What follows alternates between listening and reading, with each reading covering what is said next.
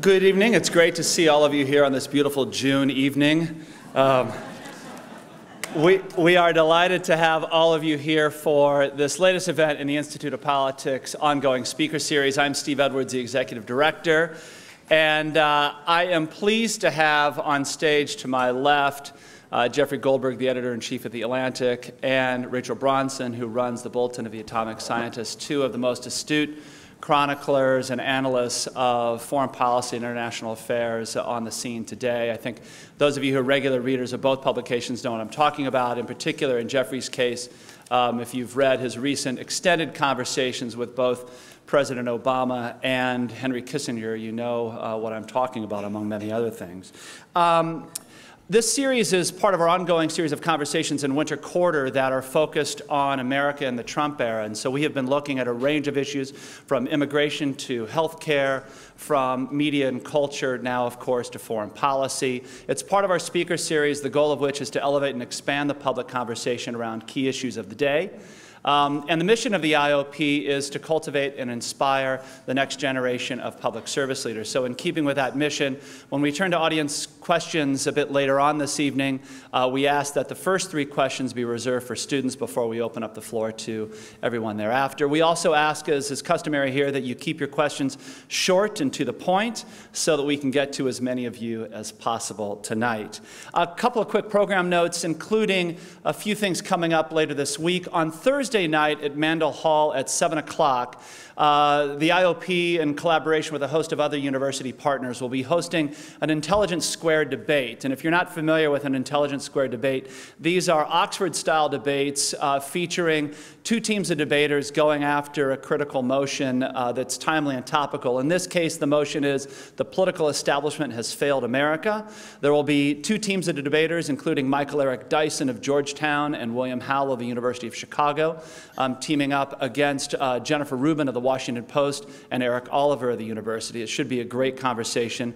Um, we welcome you to join us for that event. And again, the following day on Friday at noon, S.E. Cupp and Van Jones will be in conversation looking at divisions in America today, continuing an ongoing series that they're doing.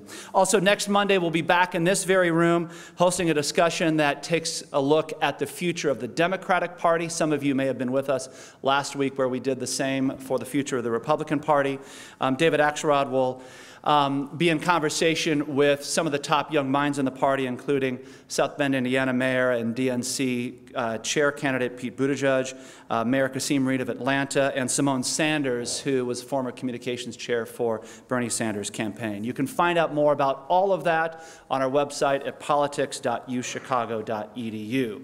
Now is a good time to make sure your phones are on silent, and it's a good time for me to exit the stage and bring up to the stage Con Olgun, who's a fourth year here in the college. He has been a leading member of the Institute of Politics Student Advisory Board and a host of other initiatives on campus. He's majoring in political science, and he will formally introduce our two speakers tonight. Please join me in welcoming Con Olgun to the podium. Con?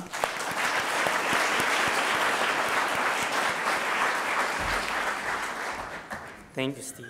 Good evening and good evening everyone and welcome. It is my pleasure to introduce tonight's speaker Jeffrey Goldberg and our moderator Rachel Bronson for a discussion on the foreign policy agenda of the Trump administra administration. Jeffrey Goldberg is editor-in-chief of The Atlantic magazine. After serving as an accomplished correspondent of the magazine for nine years, Writing 11 cover stories during that time, he became the 14th person to hold that spot in the magazine's 160-year-long history. Before joining The Atlantic, Mr. Goldberg was the Middle East and Washington correspondent for The New Yorker. Previously, he was a correspondent for the New York Times Magazine, New York Magazine, and Washington Post. In his career as a successful journalist, he has won numerous awards, including the National Magazine Award for Reporting in 2003, International Consortium of Investigative Journalists Prize for the Best International Investigative Journalist, the Overseas Press Club Award for the Best Human Rights Reporting, and the Anti-Defamation League's Daniel Pearl Prize. His 2006 book, Prisoners, A Story of Friendship and Terror, was named as one of the best books of the year by the New York Times, Washington Post, and the Los Angeles Times. Dr. Rachel Bronson, the executive director and the publisher of the Bulletin of Atomic Scientists, will be moderating tonight's discussion. The Bulletin just this past month released their famous Doomsday Clock statement, moving it two and a half minutes to midnight, 30 seconds closer than 2016. Midnight, on this context, is a symbolic moment of humankind's destruction of itself. The Bulletin cited President Trump's previous statements as the primary reason for doing so. Before joining the Bulletin, Dr. Brunson served in the Chicago Council on Global Affairs for eight years in many capacities, including as the Council's Vice President of Programs and Studies. Previously, she was a senior fellow and the director of Middle East Studies at the Council of Foreign Relations. Tonight, we are honored to have them both at our Institute of Politics, so please join me in welcoming Jeffrey Goldberg and Rachel Brunson with a warm round of applause.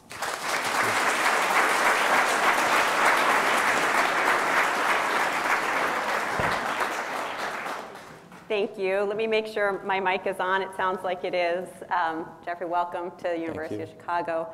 Um, and congratulations to the Institute of Politics for continuing to host such great conversations and bring out this kind of, of audience. For your bio, you're clearly an underachiever, so I'm not sure what we're going to have to talk about tonight.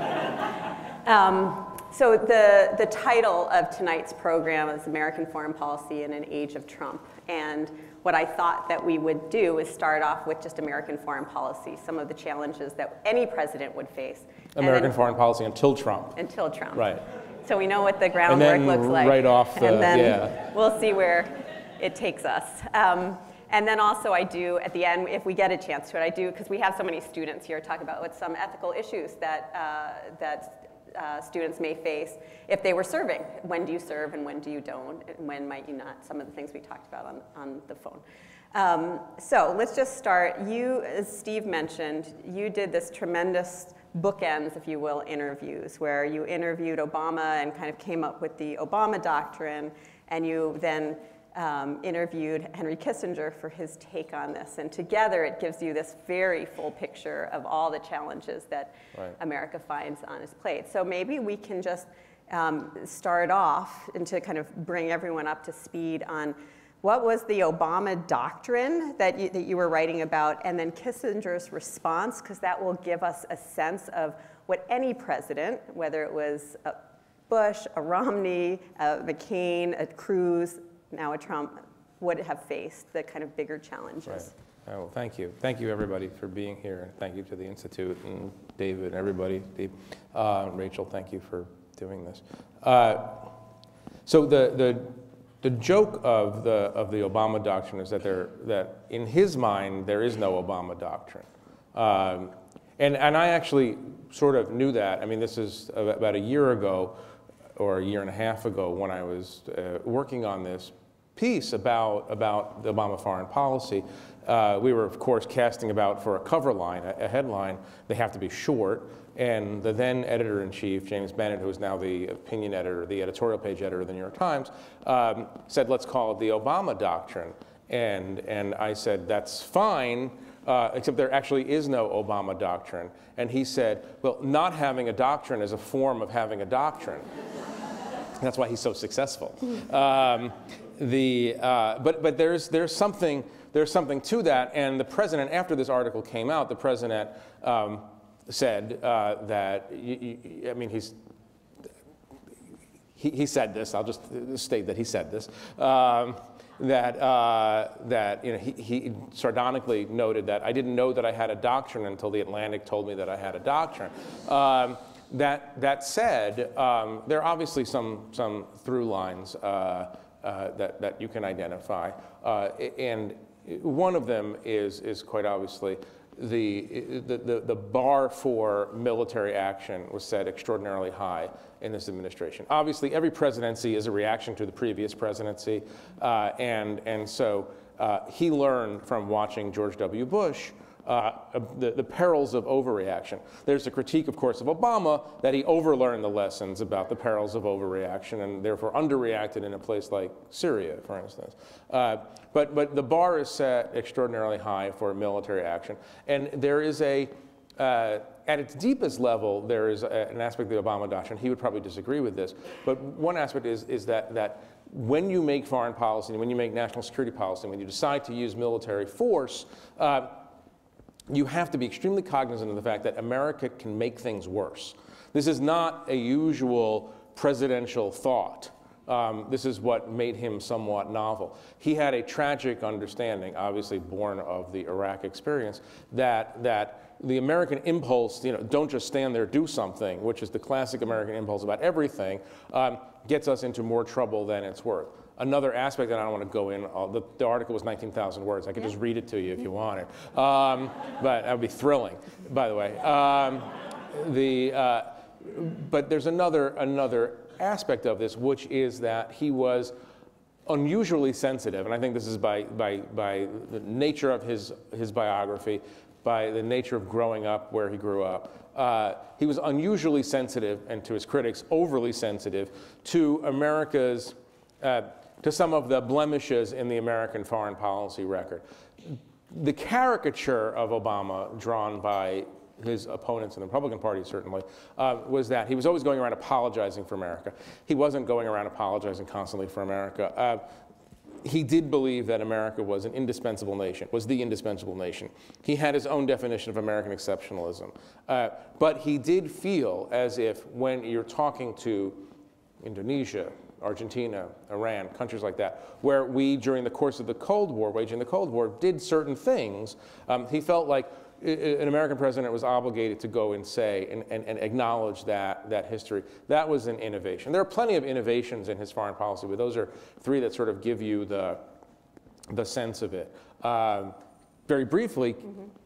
if there's an overarching critique that Kissinger made, uh, eh, it's that it's that Obama did not understand the relationship between power and diplomacy, which is to say, uh, that he was so hesitant to use American power, except when the threshold was, a very, very high threshold was reached, uh, that, that he did not, um, he, he was not an effective maker of foreign policy because uh, no one was scared of us, is essentially uh, a part of the argument. That, that in order to get something done in Syria, which obviously the gravest foreign policy crisis of the Obama period, in order to get something done in, in Syria, you need to have the Assad regime's allies, Iran and Russia, believe that you are going to use force in order to achieve your diplomatic goals. And by the way, which is very interesting and, and semi tragic in a way, John Kerry,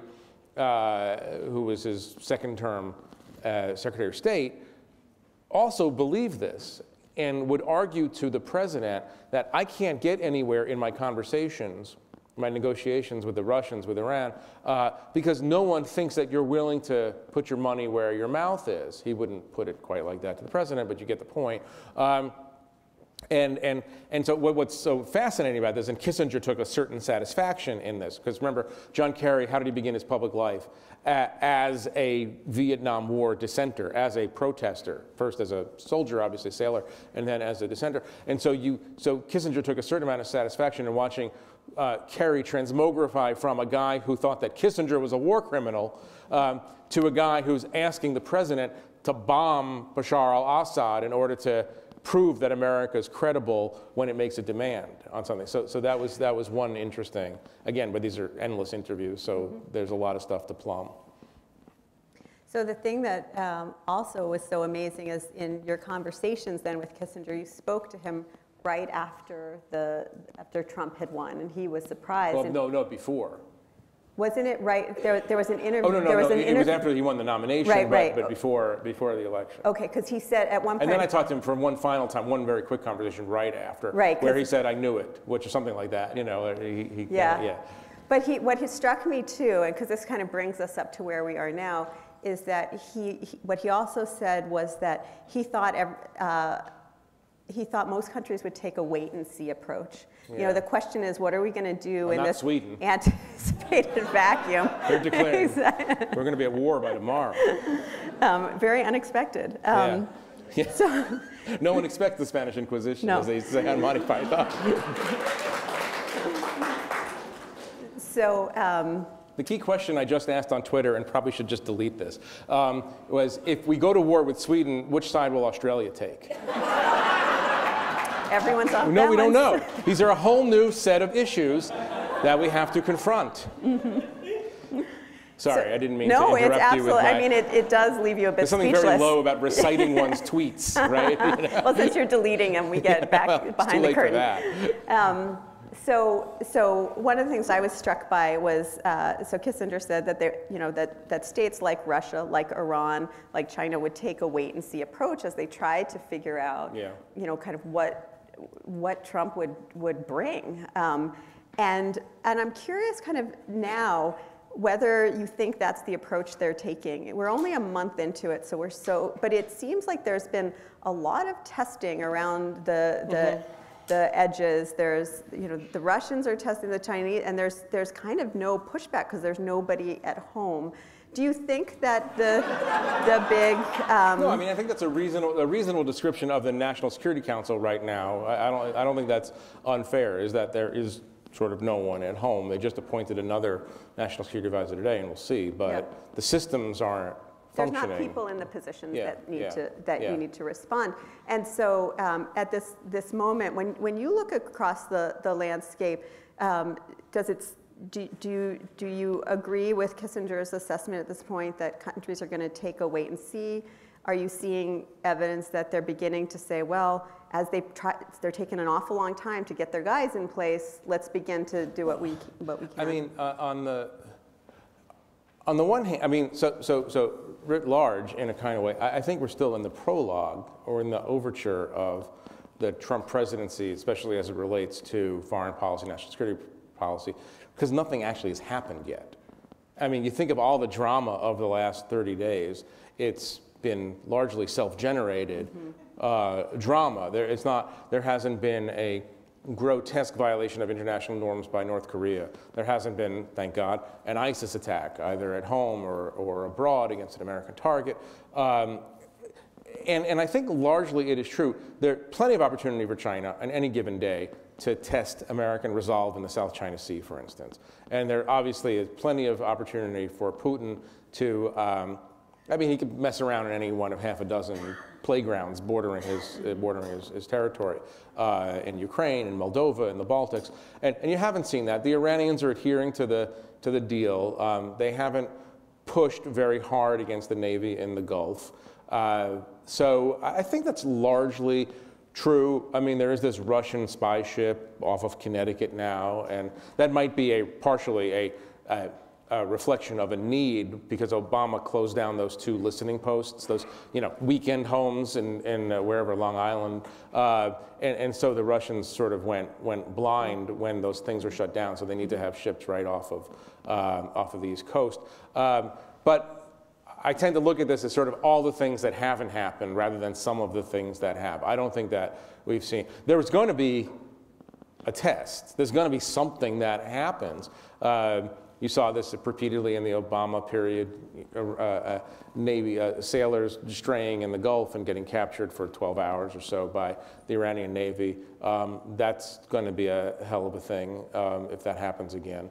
Uh, any number of things can happen, but I would say largely, lar- I think leaders around the world are so flummoxed. Uh, I don't, you know, and, and, and by the way, this is an advertisement in some ways for unpredictability. You know, the, the, the, the, one of the critiques of Obama uh, is that he never employed the crazy Nixon.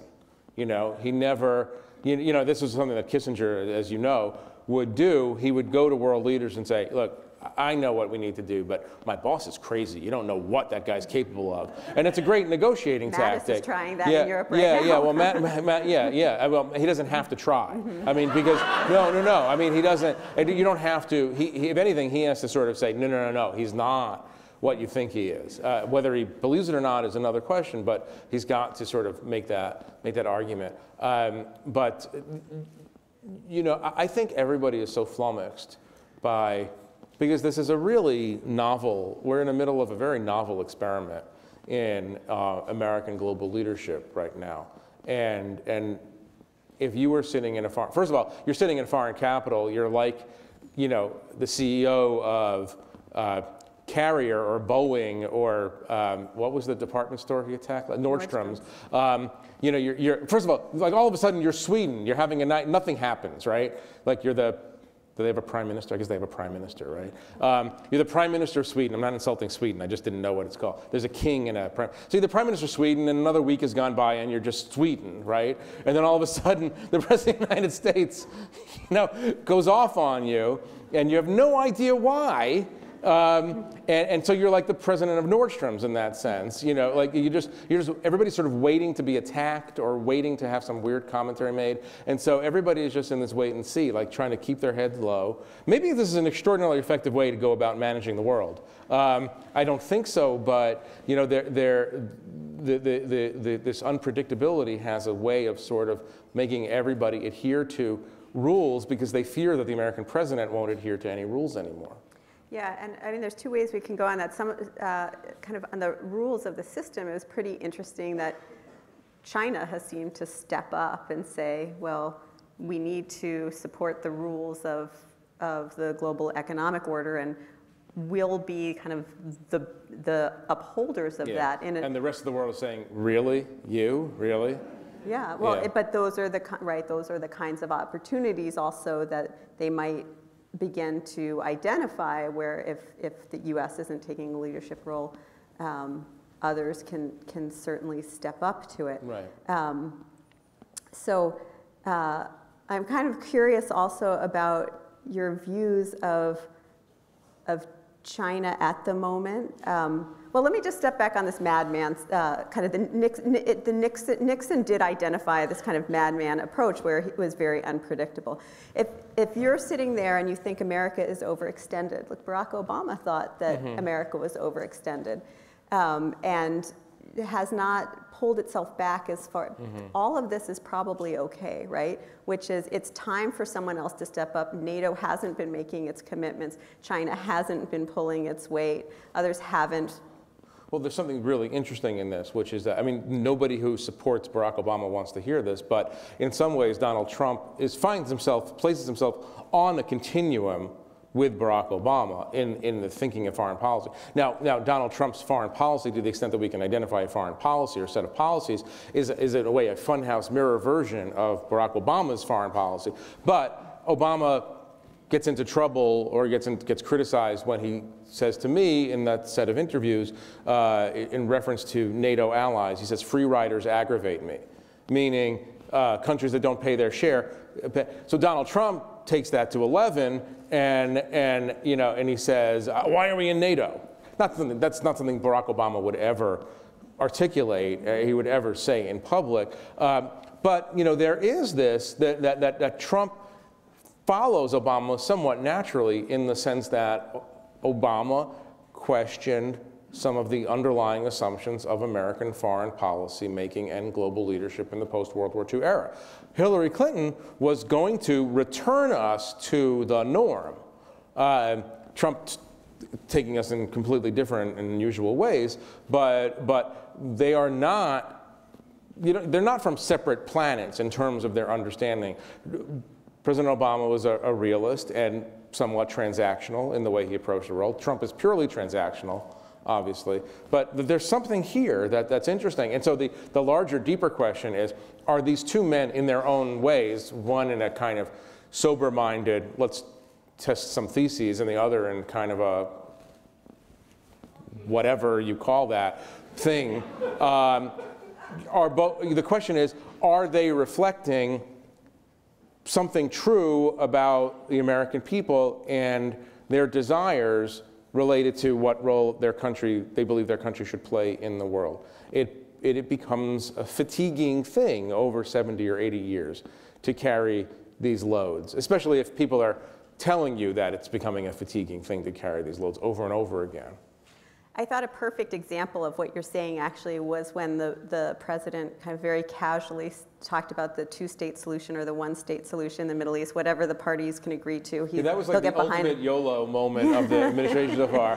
One state, two states, three whatever states, you can live with. four states. But was, what, was, what I thought was so interesting about that is there's always been this mantra that the U.S. can't want peace in the region more than the parties. Yeah. And, you know, I certainly think all of this should be well calculated. Everyone should be prepared for what's about to be said. But I wondered if kind of an extension of what you're saying, which was there's the kind of calculation and then he just kind of spouts off on it, but this sense of look, the Israelis have a lot to lose for a one state solution, the Palestinians have a lot to lose in a one state solution. Yeah. Each have things to gain from a two state, each have things to lose from a two state. So this is, and it's changing dynamically in a way that our policy hasn't changed. I wonder if that sense of, of that, uh, you know, one, two, whatever the parties want, I can live with, it suggests a lack of planning for what it should be, but it does make them all wonder, like, do we really want the one state solution that the Palestinians have in mind is very different than a one state solution than the Israelis this have is in not mind. the way this is not the way that professional diplomats would go about questioning the underlying assumptions of American foreign policy, right? On the other hand, it provokes a lot of interesting discussions about what it is that we're doing and what it is that people want. I mean, I was talking to David before, David Axelrod before about this, and you know, there's this, you know, Jared Kushner is going to be the Middle East peace negotiator, and of course that makes people laugh. Um, but on the, on the other hand, we've had 40 or 50 really skilled Middle East peace negotiators the last 40 years, um, and it hasn't worked. So, so there is this kind of throw it against the wall, see what happens uh, approach. You know, I can't, I can discount it 97.2%, Yeah. but I'm not going to discount it 100% because, because who knows. That said, this is not normal. I mean, no, Right, no, and, and, and, and you know, and, and I go back to this point that Yeah. nothing has happened yet. Yeah. We have had no international crises of note uh, yet in the, in the month that, that he's been uh, president. So, so when you're the president of the United States and you say, I don't know, one state or two states, whatever, um, and your Secretary of State is flying and he, he, he, he finds out from CNN that the president, that his boss, um, has just renounced 40 years or 30 years of American foreign policy doctrine. Uh, that's kind of like, uh, it's not, this is not stable. It's easy to talk about these things theoretically, but when something happens, uh, there has to be a process, there has to be some stability, there has to be a, a government that speaks with one voice. Everybody around the world, you know, this is the, as you well know, the, the, ba- uh, the secret of the world order is that there are a lot of people who resent the United States for being the global hyperpower. There are also a lot of countries, uh, often the same countries, who are grateful that somebody is doing this work. We'll criticize them, we'll, we'll, we'll mock Right. America, we'll complain about it, uh, but they're glad that somebody is doing it. And so this is, this is this, the new period we're entering is, is a, a, a, a, a White House that is no longer a stable platform. So this, this for me raises some of like the ethical questions around what do you do as a career uh, foreign service officer? What do you do as the professional staff in an administration that doesn't seem to be taking all of your work, kind of life's work, seriously? What is the role of the careerist? What is the role of the intelligence community? What is the role of the media? I wonder if we could kind of go through that one after another. I don't think there's any easy answers, but we have, we have public policy students here who are thinking about it. Um, there was a large resignation of, of career foreign service that um, left the, he asked many of them to hand in their resignations, but there were many who said this was now the time uh, to resign. And we know that there was the thousand or so who wrote the dissent on the, the kind of safe channel. Do you have any thoughts about, you know, how, how they should be thinking about what is the role to serve to ensure that there's someone home when the phone call comes, Right. but also if you don't agree with where your boss is going. How, these are really tough decisions. Well, you know, Jim Mattis is a perfect example, right? Uh, I mean, there are there are people who might look at uh, a well-respected warfighter and intellectual leader of the Marine Corps going into this administration saying, "Why are you doing this?" On the other hand, I would say I don't have any problem saying this that I feel somewhat better as an American citizen knowing that Jim Mattis is there in that role a responsible grown-up who understands these processes, um, who is in the chain of command, uh, and so you know you can be a purist and and say, well, you know, Donald Trump is uh, is an X, Y, or Z, so therefore I don't want anything to do with him. But we have a government the, the system produced Donald Trump as president. He's going to be president for four years unless something happens, you know, and, the, and who knows, impeachment. I mean, God knows in this situation, right? But he's president. And we have a government and has to run, and there are matters of life and death uh, that the government is responsible over, and so you'd rather have people in than not. It's an interesting question also in the, I think about, when you bring this up, I, I think about uh, the Samantha Power uh, conundrum, if you will. Samantha Power writes a book as a journalist mm-hmm. denouncing successive presidents for not intervening earlier or at all in genocides, right? The heroes of her book, which is a great book, won a Pulitzer Prize, the heroes are State Department officials, uh, in the Bosnia case in particular, uh, who resign in protest of American inaction, right? So then Samantha Power goes in the government.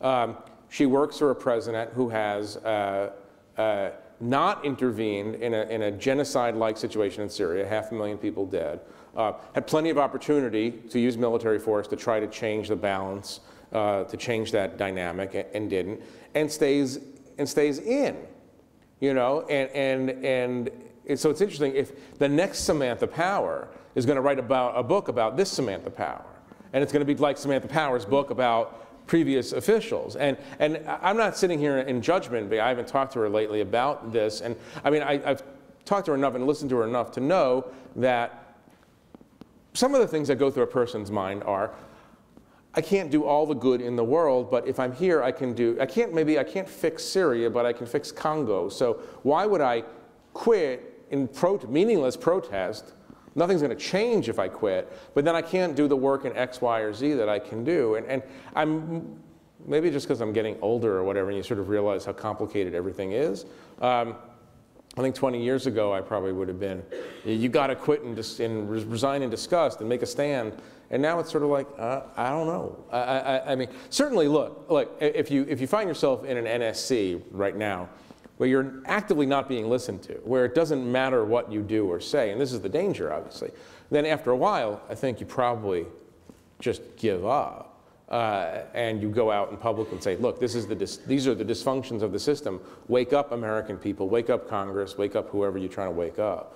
But I, I don't think there's anything I don't think there's anything easy in these in these questions. Well, that the the Samantha Powers makes me think of H.R. McMaster actually coming in as our new national security advisor. He right. wrote a very well-regarded book saying the dereliction of duty was the Joint Chiefs of Staff not not um, really pushing for um, military policies that they thought would work in Vietnam, and for the civilian leadership for not taking it serious, taking um, Vietnam right. as seriously as it needed to be. So he's a really interesting guy coming right. into. The, he's written the book He's written the book. The book about civil military relations uh-huh. in the White House. And the role of, e- uh, role of each in pushing back on civilians and uh, it's, it's a very interesting time, yeah, isn't he's it? An inter- he's it's a very interesting, time. So there's an, I think there's an interesting question. What, what about the um, intelligence community? You know, we're hearing a lot about these leaks. You're starting to hear things about deep state. You've worked in the Middle East. You know deep states when you see them. Yeah, yeah. What, you know, what's your sense about kind of leaks versus deep state? Where it seems so There's pernicious. no deep state, first of all. Right. We don't have a deep state. We don't have an anti-democratic cabal located in all these government. We, we have career civil servants and officials who want to get their points across and, and want to be able to feed the information that they have and the analysis that they have into the system and have it recognized at the pinnacle of the system. You know, the, enti- the intelligence community is a 30 billion or 30 billion plus institution um, with one client. As I say, you know, there's only one client for the, for the intelligence community. It's the President of the United States. They want the President of the United States to, to read their product, to understand uh, from that. I mean, it's an amazing thing if you think about it. It all funnels to one guy. Um, and, and that guy has decided that the intelligence community is against him. And I understand where the deep state analogy comes from, uh, because, uh, but, but you know, it's easier to explain this. You, you, don't have to use deep state analogies to explain what's going on. So the intelligence community is, is um, being insulted by the president the intelligence, leaders in the intelligence community don't think that Donald Trump takes their work product seriously and disparages them. Um, yeah, we're just talking about humans and human nature here. Of course, this stuff is going to leak out. I mean, and this is why, by the way, not to make a too large a point, but this is why I am at least somewhat sanguine about the future health of our open American democracy because, you know, the, it's a month into the Trump presidency. The free press is still free, right? The, the independent judiciary is independent. Um, and the massive federal bureaucracy um, is having, uh, on, on occasions, an, an interesting and I think I would say appropriate immune response to some of the challenges that are being posed by uh, the White House. And, and these institutions are all working. Look, I'm a journalist. I'm pro leaks, obviously. Um, I mean, eh, eh, but, but, but leaks are a way, it's not a perfect way, but it's a, per, it's a way of people who are inside the system who believe something's wrong to make their case directly to the American people by going out to the media and having this air ventilated in public. Obviously, this is a controversial subject, and Snow, you know, the, the, the debate over Snowden, et cetera. Uh, but you know, the, the, talking about these people as sort of deep state actors is is overdoing it in, in, in, in my mind. But you know, here's the thing. One of the things that presidents learn, I mean, this is the, the central irony, a central irony of the presidency, is that you're the most powerful person in the world and you have no power. You know, I mean, you, you, you, you can do a whole bunch of things, including, by the way, as you well know from your job, blow up the world because you're in a bad mood. Um, uh, so, so you do have that, but it's very, very hard to work against the bureaucracy and win. It's very, very hard to declare uh, the press the enemy of the people and your own enemy and beat the press. Like that's that's a hard thing to do. You can't. You could call judges so-called judges, right? Um, but you can't. We think, or I think at least, you can't just ignore court orders.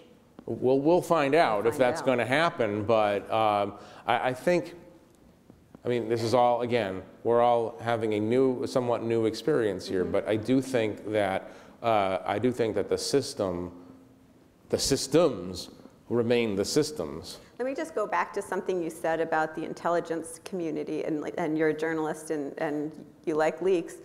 Are you, are you you and your colleagues now, who are where you were um, before, are they see, is this a different world for them? Are they seeing a different amount of leaks, leaks coming? It is, it's not unusual for intelligence to leak. Look, Deep Throat was uh, the, the number two um, intelligence position, but from where you sit, is this different? Are you seeing more leaks coming, or is I it more of the I same? can't, I'm not going to characterize it for my own, my own self or our own institution. Mm-hmm. I would say that the, the velocity has increased. Look, look, they've gone, again, I go back to human nature. If you poke somebody in the eye over and over again, they're going to get back at you because that's what people do. And how do you get back? You get back by saying, oh, by the way, Mike Flynn was talking to the Russian ambassador. Hey, who knew?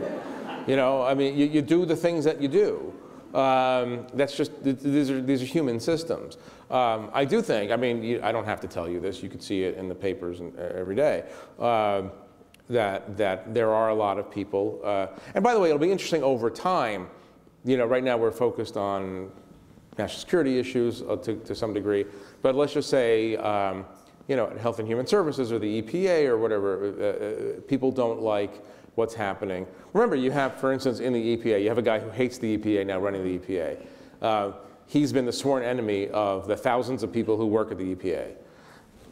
It's a hard job. Doesn't seem like a recipe for uh, smooth, uh, you know, uh, happy hours and Friday afternoons at the EPA headquarters. I don't know. Um, and you'll, you'll, you'll, you'll, you'll see some stuff come out. Again, this is, a, this is a safety valve for democracy. I believe it's a safety valve for democracy.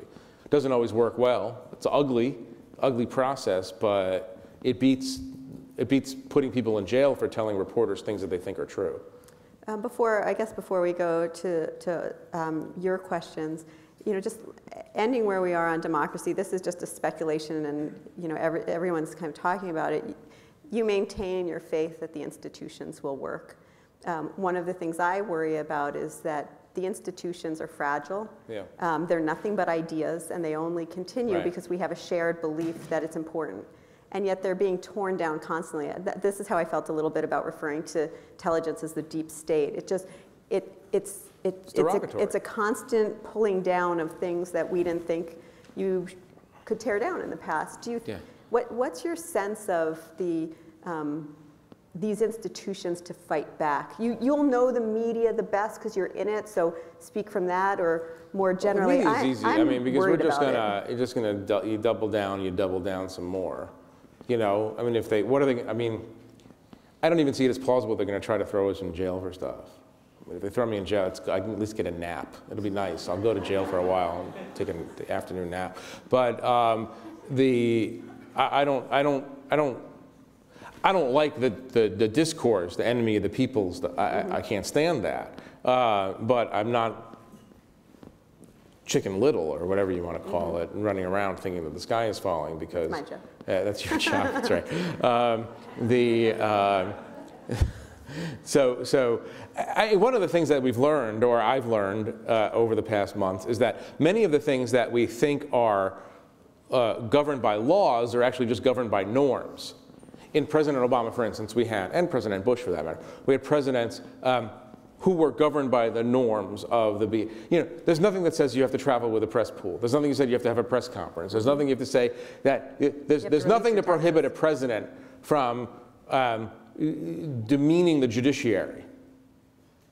Can't get fired for demeaning the judiciary. Just, just most presidents don't cross, you know, don't cross those lines. Everybody knows where the lines are. There's a fundamental. I'm going to use this word very deliberately. There's a fundamental decency in the way they talk. President, every word that comes out of a president's mouth has to be calibrated in order not to upset the norms that have kept us remarkably stable for centuries. And, and we're in a different, that's what's, that's what's novel and un, unusual. But I, I do have, I do have faith in it. And yeah, I, I, I get very, I, I actually been thinking about this a lot in the last week. The,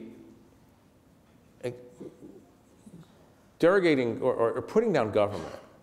I mean, we have, I mean, you travel a lot, I travel a lot. We, we know that the United States Marine Corps, the CDC, the FDA, the NIH, the National Oceanographic and Atmospheric uh, Institute, whatever it's called, however it goes, it's very long, uh, the weather people, um, NASA, uh, uh, the Secret Service, the Coast Guard. Coast Guard's unbelievable. We, we, our government institutions are the envy of the world. We're the, we're the gold standard. All, all of these things that we do, millions of people do them well every day, and, and, and countries across the, I mean, there's, there's a reason that not every country has to have an FDA, for instance. It's because we have an FDA. There's a reason that Ebola didn't murder half of West Africa. That's the CDC. And so this constant invective that's directed against, not to say the government is perfect, God knows, right?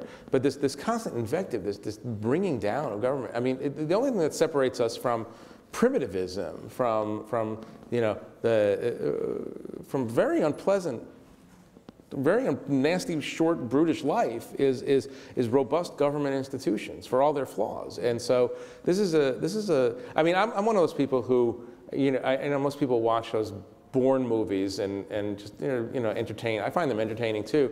But I'm always watching those movies, for instance. I, I'm not, so I'm not just blaming Trump. I blame, this has been a, there's been a discourse for years. You know, you watch these movies in which the US government plays this utterly nefarious role. This is made by liberals in Hollywood, by the way.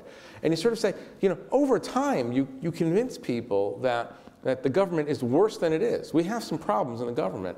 But uh, Donald Trump walks into an atmosphere in which there's Yeah. profound mistrust for the, I mean, you know, the people who are out protesting the government also, you know, Social, Social Security sends, I don't know how many tens of millions of checks every month on time. That's not an easy thing to do. These things work. And we'll miss them if they're gone. And we'll miss them a lot. And so uh, it would be nice to, it would be nice to have a, a little bit more of a balance in the way we talk about these institutions. Yeah, I would agree with that. Okay, so it's now time for, um, for everybody else to get engaged. We hope we've set the table well to help you situate your questions, and you can line up behind the mic. There's clearly going to be a long line, so I ask you to keep your questions short and then we'll give Jeff a chance to respond. Hi, my name is Matt Enlow, and I'm a second year student at the law school. Earlier tonight, you spoke briefly about how Obama and Trump might both reflect different versions of the American people, and I'd like to expand on that a bit more. The Condorcet jury theorem is a theorem in public choice theory that explains the effect where if a group of people is all at least better than half likely to get the answer to a question right, each extra person you ask makes the majority more likely to be correct. However, this theorem fails when the members of the group are not more than likely to more than half likely to be right.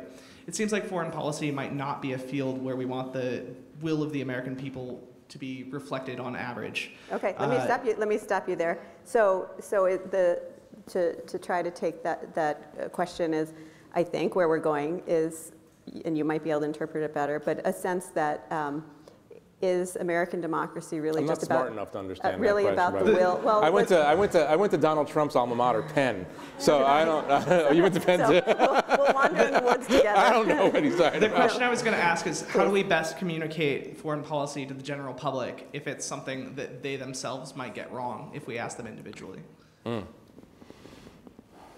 Goes against general intuition. Yeah, I, I- I mean, it's harder and harder. I, I mean, you know, I, Thank you. I, I thank you. I, I know that um, I know that the MSM is, uh, you know, a, a subject of, of mockery today, and that democratization that the, the internet has brought about is a good thing in many ways.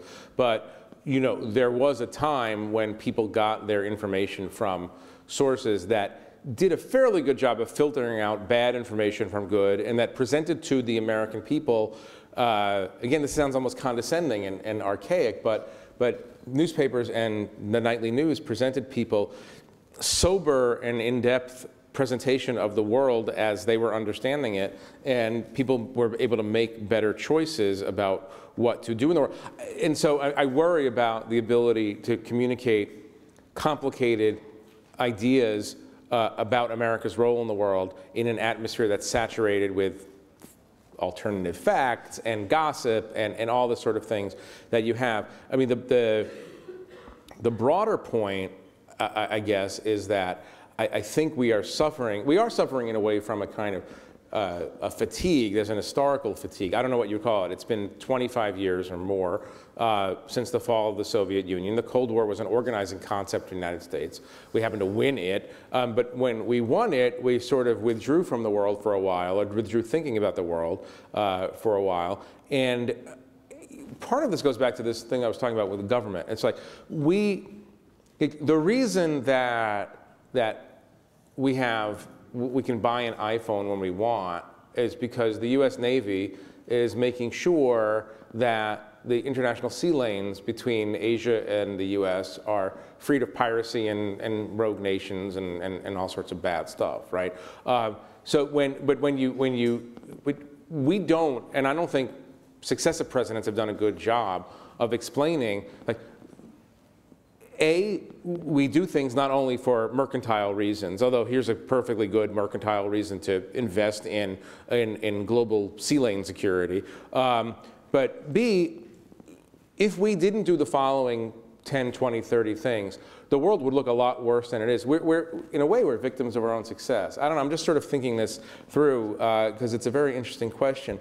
But um, I don't think past presidents have done a very good job of explaining and embracing the, the ideas of American indispensability. Obviously, the Iraq War was, is generally interpreted to be an overreach and a, and a tragic misapplication of American idealism and American interventionism. Uh, and so we're, we're suffering the, the, the after effects of that. But anyway, I could go on, but I won't. yeah. Thank you. Um, hi, uh, my name is Colette, and I'm a first year at Harris. And um, I was wondering, since okay, since Trump is an outsider and he's continuing to bring these outsiders into office, like Nikki Haley and Rex Tillerson, um, do you think their role is going to be? I mean, obviously everyone has to learn on the job, but in terms of having international political diplomat, like diplomatic experience, what is their role and are they going to be mostly cleaning up messes that comes from our messages here, or what do you see Right. as that? Thank you. So, so far, they've been mainly in the cleanup mode. Rex Tillerson hasn't really said anything in public yet as Secretary of State. I guess he's just getting his feet wet or, or something. Um, so we don't really know much about his role. What we do know is that he was not uh, in the White House when Trump was having various bilateral meetings, Japanese prime minister, the Israeli prime minister, Canadian, right? Um, which is kind of odd not to have a Secretary of State there. Uh, and so the big question uh, the big question is not whether these people are competent. Nikki Haley is very smart. Rex Tillerson ran ExxonMobil. One assumes he's smart and can run large organizations. Uh, the big question is, will anybody in the White House care what they have to say? And that's an open question. Thank you. Uh, thank you for coming to speak with us tonight. My name is Zubair, and I'm a second year in the college. And from my personal experience, I've seen a lot of similarities between President JFK and now former President Obama in their youth, their optimism, and their drive. Um, and President Kennedy left the presidency and kind of transformed the way that we view it. So, in your opinion, how has President Obama transformed the way that we view the presidency and the office itself? It's a good question. I, I mean, you know, it's it's it's it's it's interesting. I, I mean, you so so uh, I I commissioned last week. I don't know where the thought came from, but uh, you should look at it on the web. It's very interesting uh, on the Atlantic website. I, I called up Miss Manners um, to ask her to sort of refract the Trump mode of behavior through the prism of her particular concerns. Um, and it's a fascinating piece, but, but she said, you know, it's, it's, she has a theory, and there's an actual person, Miss Manners, she, Judith Martin, she writes in Miss Manners, this is for the young people who don't know this. Um, and, and, and she has a theory that, you know, we, that the country was tired, in a way, of having such a staid, appropriate, dignified family man president who revered the office. And so, because we're trained in a way for the excitement and unpredictability of reality TV that we desired this guy to behave so badly, right? Um, I mean, what's, what's amazing to me, I guess, and I, am just thinking about it, because I, I, I, got to watch President Obama fairly close up. Um, and, and, this is not a policy observation that I'm about to make. This is just a personal observation.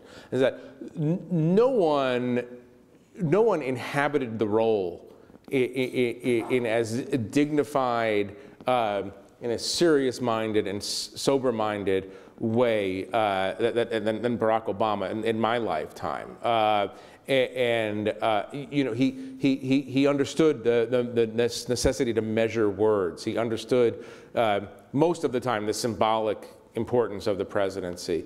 Um, and you know, you would think that that would have been, at least I thought, that that would have been a that he going forward is a role model for the way presidents should behave. Again, I'm not making an ideological or policy uh, arguments here because you could argue about those things, but just in the manner in which he carried out the presidency and, and embodied the seriousness of the United States and the seriousness of the office, you would think that that would be, he would set the model going forward, but then we have someone who is clearly I mean, there, there are 330 million or so Americans, and no two Americans are less alike than Barack Obama and Donald Trump.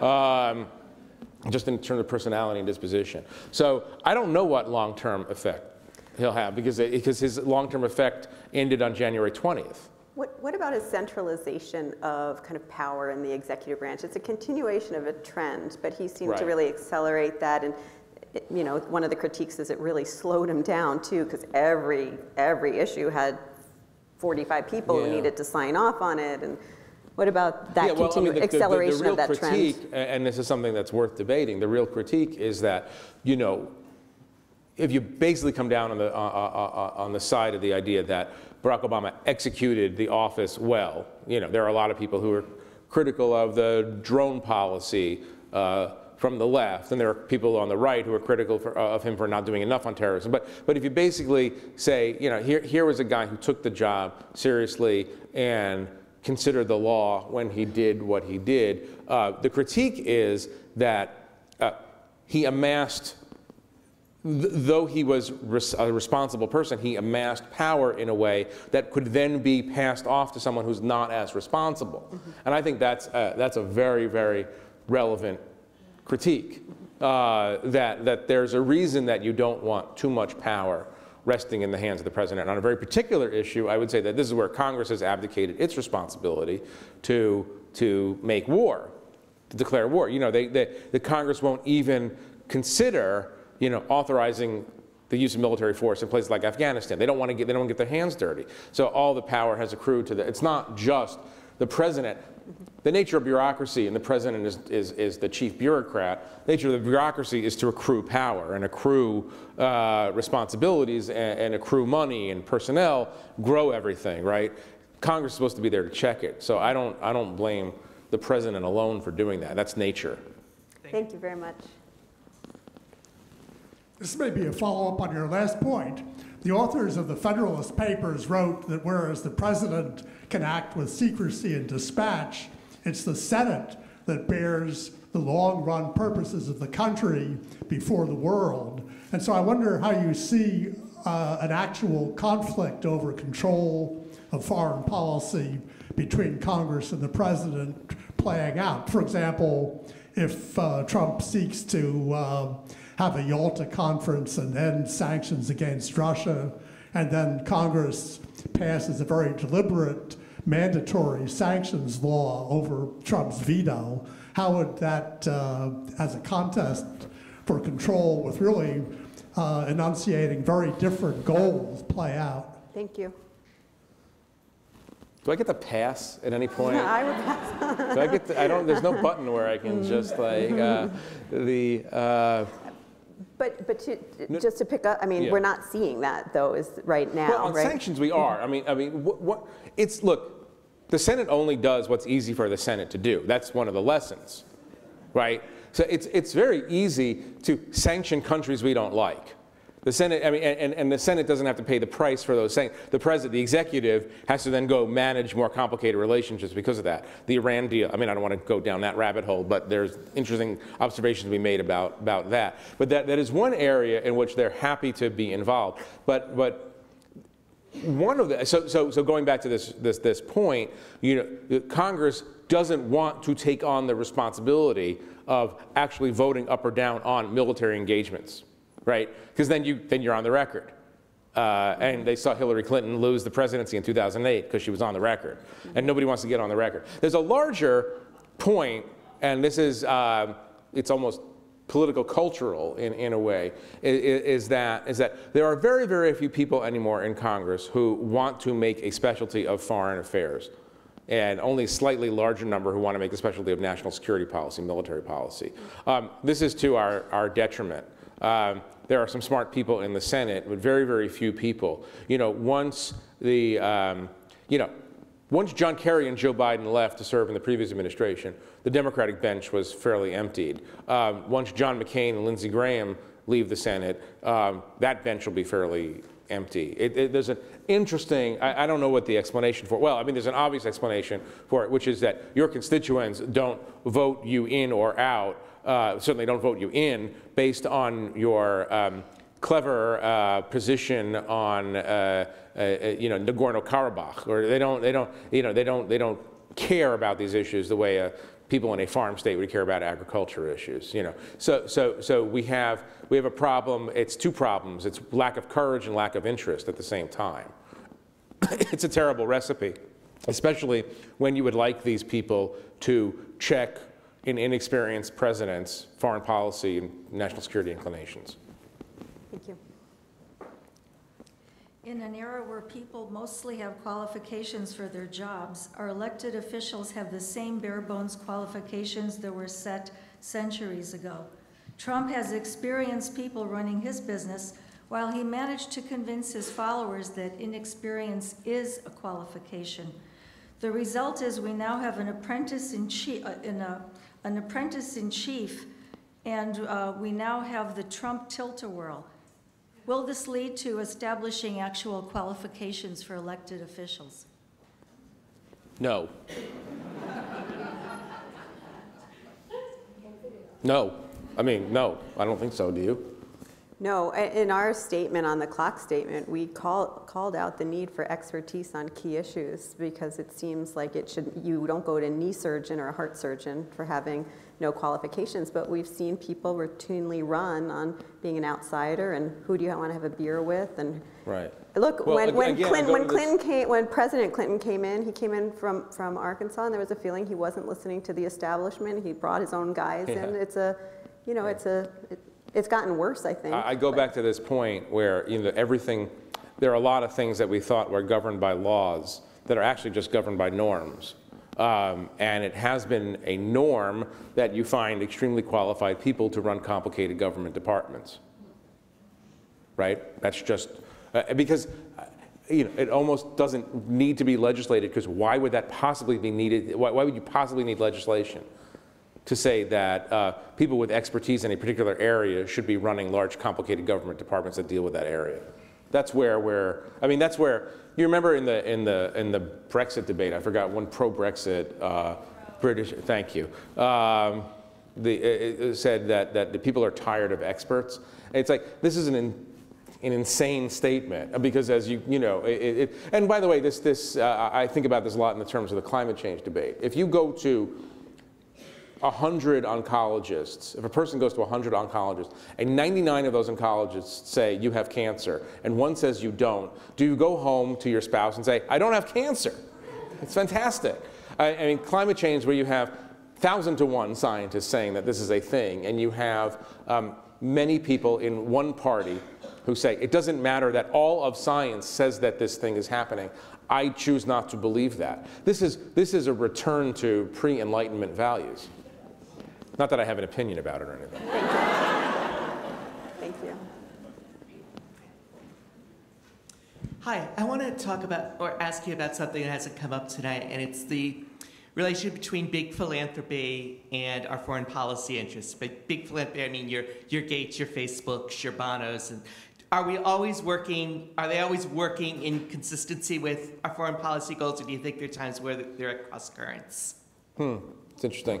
Um, I was actually out in Seattle last week talking to Bill Gates about this, um, and you know, it's it's interesting because th those the people you mentioned, I don't know much about Facebook and where they're going, but uh, are big internationalists, obviously Warren Buffett too, uh, and and are big supporters of the U of spending U.S foreign policy. You know, they're big, big defenders of, of, of foreign aid. Um, it is interesting. I mean, there's a there's a there's an interesting philosophical question about if you're Bill Gates, um, you have so much money and so much power that you define for uh, governments in a way.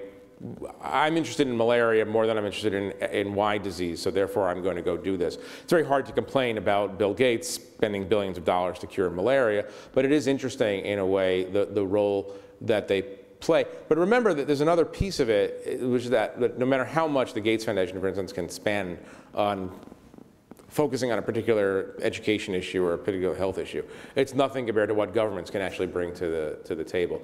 But, um, and actually, we're, we're, I think, again, like a lot of things, we're entering an interesting test period uh, in which we're going to find out whether, um, whether places like the Gates Foundation align with the interests of the Trump administration. Remember, Gates Foundation, the two people, or three if you count Melinda Gates, obviously, Bill Gates, Melinda Gates, the three people who are responsible for saving more lives in, in, in, in the world over the last 15 years are, are, are the Gateses and George W. Bush.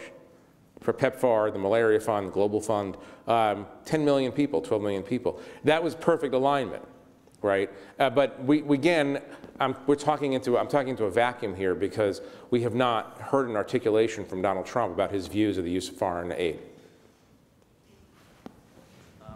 Hello. Uh, Hello. So, uh, since the beginning of World War II, American foreign policy, largely to its detriment, has really been obsessed with looking at the world in terms of broad spheres of influence. Uh, and Trump, on the other hand, seems to utterly reject that notion, uh, and instead, maybe due to his business background, really views the world almost anarchically as each country is an individual nucleus. Uh, do you think there ever will be any sort of synthesis between those two extremes? Dude. Uh,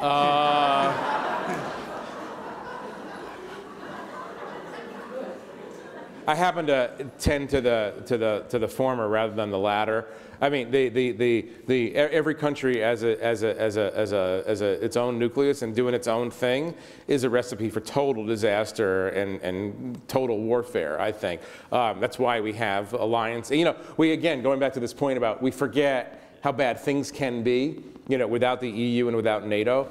it could be a lot worse than they are now. I understand your, your, your, your argument about, um, about uh, spheres of influence, and we do get in trouble sometimes uh, uh, for that. But I would say that, that there are a dozen countries in Europe, a dozen countries in Asia, a dozen countries in the Middle East that are, are glad that they still exist within a U.S. sphere of influence. Because if the U.S. was not managing those regions the way it's managing, those, the vacuum created by the U.S. absence would be filled by Russia, China, and Iran. And most of those countries that I'm talking about would prefer the U.S. for all of its faults and overreaching and, and, and stupidities uh, to the U.S. to be the dominant power in those places rather than their non-democratic neighbors. Well, and also when you're dealing state by state, right, it, it, there's no strategy. The reason you don't take on Sweden is because it's, it doesn't seem point to, point to it. But if you're really serious about containing Russia, you don't want to make Sweden, right? That, that Right. We, we create spheres of influence because there's some broader, bigger issue we're trying to tackle, and we need allies and support, Right, right? To, right, to your point, you need a web. You can't take every question on. Right. You, yeah. you can't. You can't have. I mean, we can't have 200 foreign policies. Right. Thank you. Next question. I think we have time. This will be the last one. I'm so sorry for the rest of you in line. Um, I recently read your interview with Senator Tom Cotton, and it kind of seemed like he was using the Trump presidency to kind of experiment with different ideologies that he had in his mind. Um, and this seems to be kind of a pattern from. He's ideologically. f- He's ideology fluid. Yeah. Yeah. Uh, uh, how do you feel about um, generally politicians using different political situations to, um, you know, kind of broaden their principles and experiment with their principles? Like, what do you feel about the downsides and potentially upsides of that kind of experiment? I like that expression. Broaden your principles. and, and what we actually do have time for is answer that question. But if you're succinct, we'll, there's only three left. We'll ask you to each ask Yeah, your yeah, we question. we'll do a speed I round for the last be- three. So hold on, and I I think we'll be able to fit that all in before Um, 7:30. I have a slightly more cynical view of politicians than you do. Um, and you know, I, I- Tom Cotton is a very smart guy, uh, and he is in a fa- he is um, accommodating himself to the new reality. I mean, I said to him in this uh, when we were talking a couple weeks ago. I, I said, um, I said, you know, you've always struck me as a kind of a Reaganomic shining city on the hill, advanced democracy. And, and he said, he said, well, even cities on a hill need walls. And that's not something he would have said a year, a year ago. Uh, also, by the way, I'm not sure that cities on a hill need walls because they're on a hill. But, I, and I, I didn't say that at the time. That was one of those, I should have said that. Uh, but that's the point of building on a wall, on a hill, right? Um, but like he's, he's accommodating himself. Like, one of the, look, what's one of the biggest stories that we're dealing with uh, today is uh, a surprising level of accommodation to, by, by Republicans to a president who's not actually a Republican. This man is not actually, I mean, he doesn't subscribe to the, the set of views and positions and values that we have associated with the Republican Party over the last period of time. So uh, there's a lot of accommodation to power. I wouldn't, you, you want to call it broadening principles, it's, a- it's a good euphemism. So do we have time for a speed round, or are we done, Steve? Um, you can take one last one here. All right. I tried, but we'll take the last one. Okay, Thanks, that's very nice of you. So, me and my family are all huge fans of The Atlantic, um, and I just wanted to ask, given today's like sort of changing media atmosphere, what you talked about, how information used to be filtered and Mhm. now it's not, and the fact that you also mentioned that um, you're not chicken little and you're not afraid of Trump throwing you in jail, there is also this notion that Trump has convinced a significant portion of the electorate to completely distrust the media, and that though Well, they were already might- halfway there. right, right, mean, right, uh, yeah. right, right. And though I might see the Atlantic as an institution that gives voices to different perspectives, um, a lot of what the reality is that um, these media institutions are continually only being read by lots of people like the people in my family and the people in this room, namely sort of the intelligentsia. And that there is a broad rejection by a significant portion of the electorate of um, arguments based on evidence, arguments, arguments based on reasoned discourse. And I was wondering, as someone who is a leader in media and as a leader of an institution that has tried to remain bipartisan over a long period of time, um, what do you, duty do you see for yourself and people like you in institutions like the Atlantic to appeal to that portion of the American people and to sort of reunify us around talking reasonably about these issues? Thank you.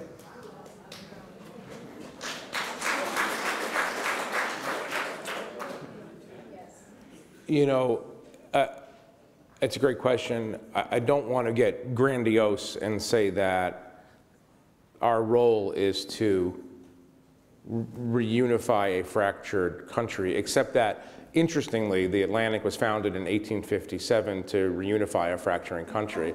Uh, so it's actually in the DNA of our, of our publication to want to do that, which is one of the reasons why I have decided that we're not going to go down the path that other publication institutions have taken, um, which is to enter the so-called resistance or the opposition.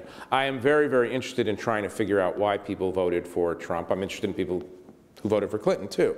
Um, I, I, I, I want to talk to them. I want to understand them.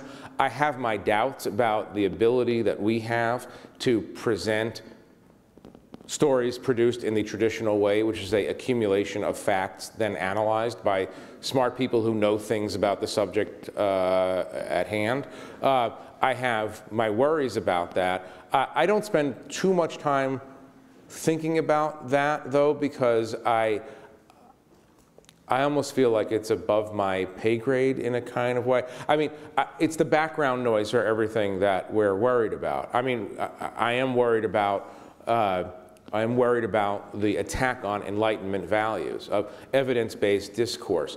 One of the reasons I, I, don't think about it that much is I, I, do think that in the end of the day, facts have to win.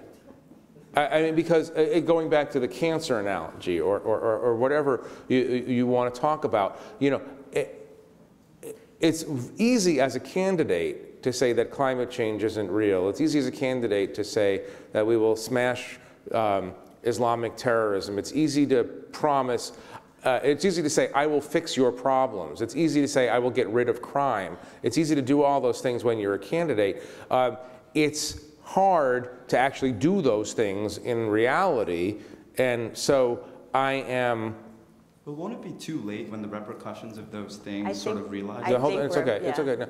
Uh, too late for what? I mean, Right. you know, The you issue talk about climate you talk about living in a bubble of the intelligentsia. I would point out to you, just as an aside, that more people actually voted for Hillary Clinton than voted for Donald Trump. I mean, in terms of numbers, like the the, the bubble that you live in is fairly big. Uh, it's bigger than the other bubble. It's just a peculiarity of the American electoral system and a particularly weird election. Um, I, I do think at the end of the day, people understand that, that, that, that they will be successful and have happy, healthy lives if they assimilate data in a reality-based way. And so that we will return to that kind of discourse and that the web, which is in its infancy, will figure out a way to disaggregate nonsense from, from reality. But maybe I'm being over-optimistic here, but I think that, that uh, one other thing, and by the way, let me just end on this because I think it's important. You know, I, am not making a specific plea for my own magazine, but, but everybody here has to understand that, that journalism just because you can get a lot of it for free doesn't mean it's, it costs nothing to make.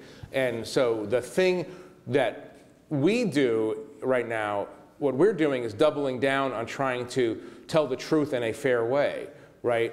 But we can't do it if people won't fund that and allow us to do it. And so it's important to take out subscriptions. It's archaic, right? But it's important to actually subscribe to publications that you think are trying, at least, to get at empirical truth uh, so that you allow us to do that. We're having a great time in media right now. That's a little dirty secret of, of this moment, is that there's a lot of energy in media and that there's a lot of motivation and purpose for, for, for this because of this strange moment we're in.